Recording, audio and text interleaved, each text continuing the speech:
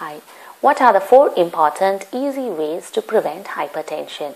Hypertension means there is elevated tension in the blood vessels leading to elevated blood pressure. How to relieve this tension? Number one is hydration. Remain hydrated throughout the day to prevent hypertension. Number two is good sleep. One should get 6 to 8 hours of uh, deep night sleep to prevent hypertension. Number three is um, yoga and meditation. Practicing yoga and meditation on a day to day basis helps to prevent hypertension. It helps one to remain stress free. Number four is Abhyanga. Daily oiling the body and oiling the head are two important measures to prevent hypertension. So, that is it in brief about the four important and easy steps to prevent hypertension. Thank you.